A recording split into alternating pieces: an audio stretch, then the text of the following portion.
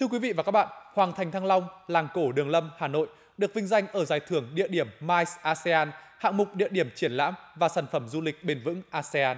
Lễ trao giải thưởng du lịch ASEAN 2024 nằm trong khuôn khổ Diễn đàn Du lịch ASEAN 2024 tại Lào đã tôn vinh 25 địa phương, đơn vị của Việt Nam ở 6 hạng mục giải thưởng. Đó là Giải thưởng Khách sạn xanh ASEAN, Giải thưởng Thành phố Du lịch sạch ASEAN, Giải thưởng MIC ASEAN, hạng mục phòng họp, Giải thưởng MIC ASEAN, hạng mục địa điểm triển lãm, Giải thưởng MIC ASEAN, hạng mục địa điểm tổ chức sự kiện, Giải thưởng du lịch bền vững ASEAN, chủ đề du lịch ẩm thực. Hoàng thành Thăng Long, làng cột Đường Lâm, Hà Nội được vinh danh ở giải thưởng địa điểm MIC ASEAN, hạng mục tổ chức sự kiện và sản phẩm du lịch bền vững ASEAN, hạng mục sản phẩm du lịch nông thôn bền vững.